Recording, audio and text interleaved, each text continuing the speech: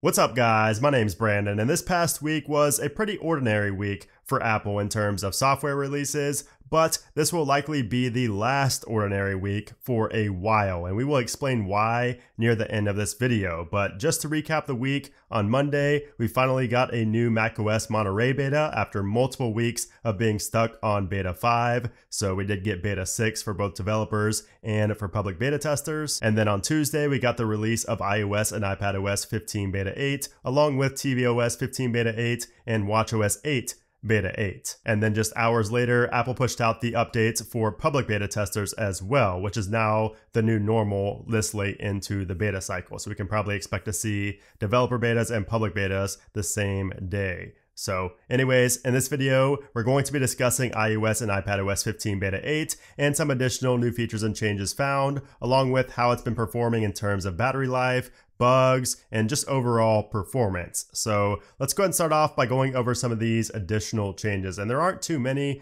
like I mentioned in my What's New video. I mean, in 8th beta, you really aren't expecting too many changes at all, and there really weren't many in here. But there were a couple of new splash screens that I wanted to show you guys. So this was a new splash screen shown when you went into the App Store for the very first time on Beta 8. And you could see here, it says personalized ads. Personalized ads in Apple apps, such as the App Store and Apple News, help you discover apps, products, and services that are relevant to you. We protect your privacy by using device generated identifiers and not linking advertising information to your Apple ID. So basically, if you want your ads to be more relevant to what you're actually interested in, you could turn this on, but you also get the option now to turn off personalized ads if you do not want this, you know, being the case for the App Store and Apple News. So that is a new splash screen and also a new option to turn that off if you would like to. Now we also got a new splash screen for the Translate application. So you can see now it shows conversation views. Choose a side-by-side or face-to-face conversation view, which isn't new, but the splash screen overall is new. We also have auto translate and system-wide translation. So none of those features there are actually new in beta 8, but for whatever reason, we just now got this new splash screen in beta 8. Now, Apple also announced the first states that are going to be able to use the digital ID feature in iOS 15. So you can see here, these are the first states that are going to get access to basically being able to put your driver's license into your Apple Wallet application so you could show your driver's license to TSA at the airport via your watch or from your phone instead of having to have your physical ID. So right now, the first states it's rolling out to are Arizona, Connecticut, Georgia, Iowa, Kentucky, Maryland, Oklahoma, and Utah. So it will be coming to other states later on, but as of right now, those are going to be the first states that this, you know, driver's license and state IDs and Apple Wallet, those are going to be the first states that it's coming to. And I'll leave this article linked down in the description below. It basically will tell you about everything in terms of security and privacy and where you can use this. And the main thing to take away from this is that yes, it's very cool, but it's only going to work for TSA at the airport for now. You're not going to be able to go to like a bar or places like that and just use your digital ID instead of your physical ID, at least not anytime soon. But I will be showing you guys this feature when I have access to it. I am in Florida, so I'm not going to be getting first access to it, but I will show you nonetheless when it does finally get released to me here in Florida. Also new in beta 8, when we go into the Maps application and go to a destination and we swipe up, you can see here that before the add photos button was right on top of the photos. It was kind of like an overlay on top of the photos right there. But now in beta 8, you can see that add photos has been moved down below the call website guides and share options right there, right above rate this place. So I like this better. I thought it looked kind of clunky when it was on top of the photos right there. So I like the fact that add photos has now been moved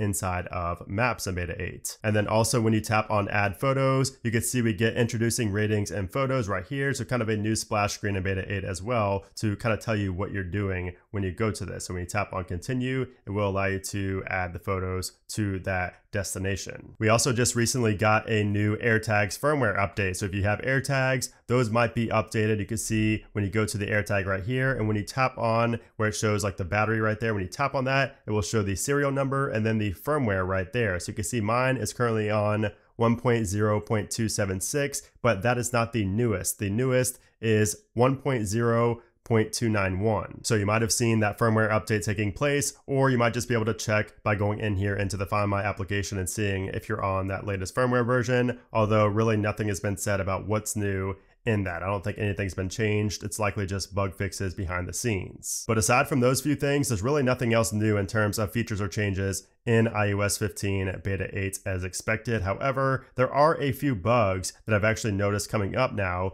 in Beta 8 that were not there in beta 6 or 7. And some of them actually have been in beta 7, but beta 8 seems to be highlighting a lot of issues, mainly with the notification center. So you can see I'm here inside of the notification center on my lock screen, and you can see there's a big gap between the notification center text and when the first notification is. And I believe this might be related to being in a focus mode that's causing this bug, but it happens pretty much every time, even after a reboot. I have multiple issues with notification center, whether it's just the big gap right there or notifications overlapping. I just seem to be having a lot of issues with notification center here in this latest release. And I'm also still having the bug where contact photos sometimes do not appear in group chats. It just kind of shows the initials of the person with a gray little box and it doesn't show their contact photo and sometimes it doesn't show their full name either it just shows the phone number. So that's also a bug I'm still facing here in beta 8 however not everything is bad because the biggest relief in beta 8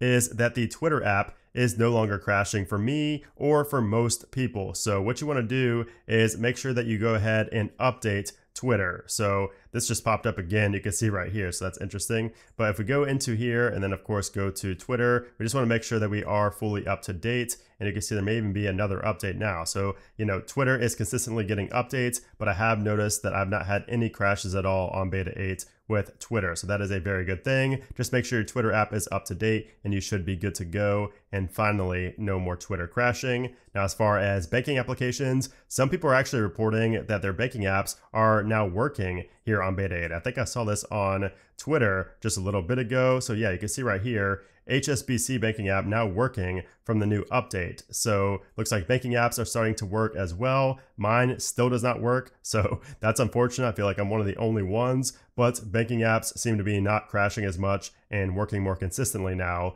in beta 8. And then as far as AirPods connectivity, I reached out to those people who had issues on beta 7 and they say that the issues have actually been resolved in beta 8. So I did not expect that. I thought I was going to wait until the RC for them to actually see a resolution to this issue, but it looks like people with AirPods connectivity issues are having those kind of resolved in beta 8, although I would expect some people to still be having issues because it seems like no matter what the version, people always have issues with AirPods connectivity for whatever reason. Now, as far as the overall performance here on iOS 15 beta 8, it's excellent. I mean, aside from the minor bugs in the notification center, like I mentioned, because I do have those pretty consistently, aside from that, there's really not much to complain about at all. I mean, the performance is excellent here on beta 8. It's not a huge difference from beta 7, but of course the, you know, Twitter not crashing as much is a huge update and some of the other bugs I had have been resolved as well. I do have, like I said, minor, minor bugs like with notification center and with messages, but aside from that, everything is running perfectly fine. And as far as battery life goes,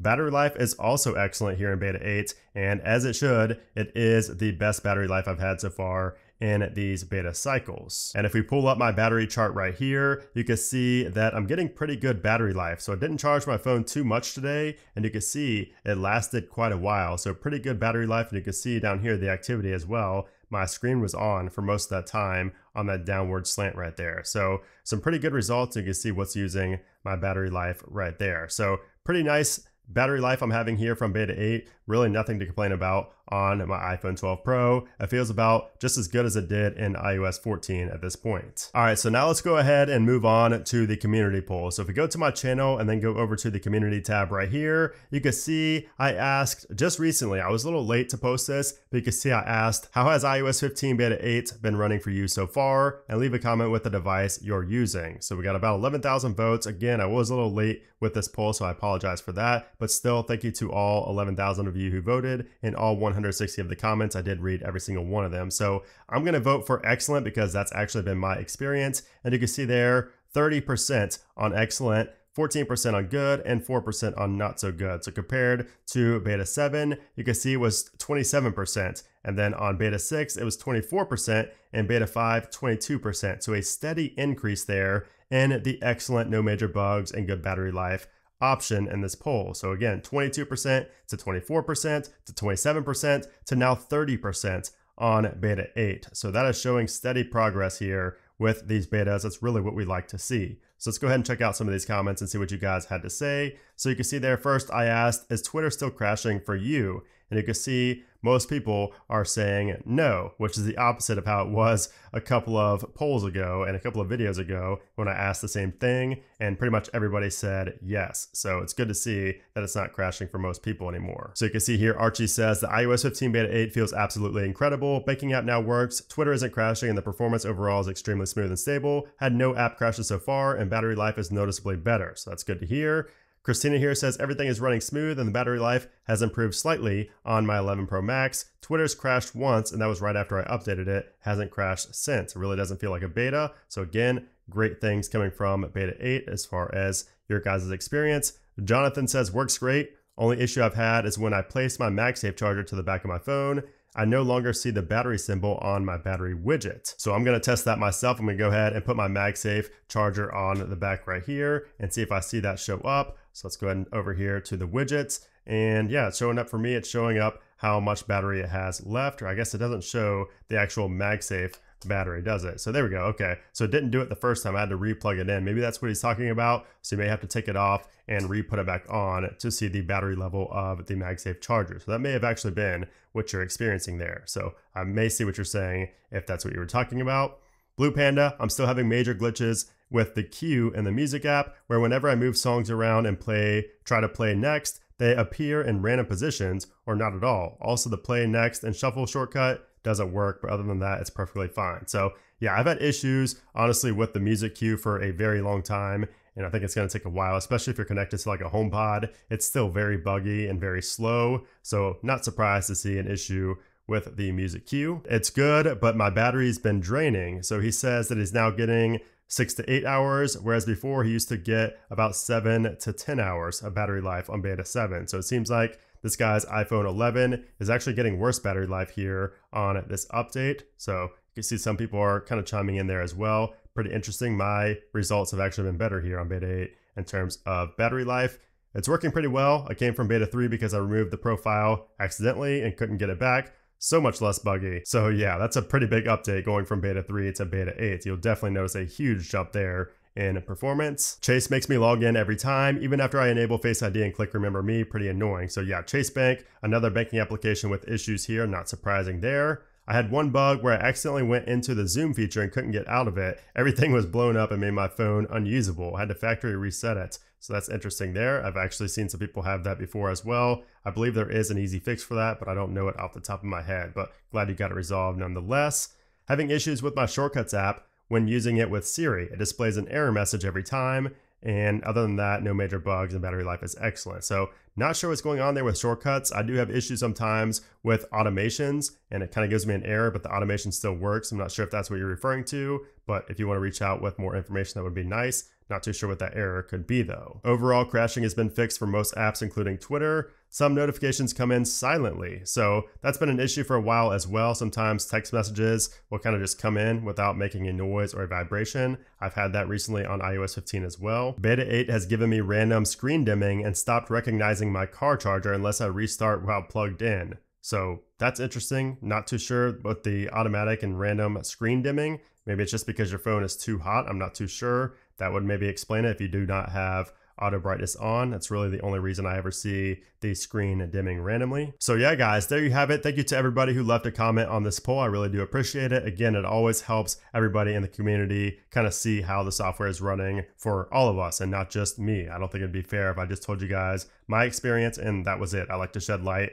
on what you guys are experiencing as well. All right, so now what is next for Apple? So if we go in to our calendar here, you will see that today is September 4th, and next week is going to be the week of September 6th. And I think that next week is going to be when we see the RC build of iOS 15. Now, it is possible to see a beta 9, but I'm thinking that the RC is coming next. So we could see that sometime early next week, but really the RCs come on any day. I mean, I think it could be anywhere from the 6th to the 9th where we could see iOS 15 RC. And then after that, the week of the 13th is when I think we'll see iOS 15 released to the public. And if I had to guess on one specific day, it would be the 15th, iOS 15 on the 15th. So it could come any day though. And of course, next week should also be interesting. And I referred to this in the beginning of the video why we're not going to have any more ordinary weeks is because next week is when we should see the invites go out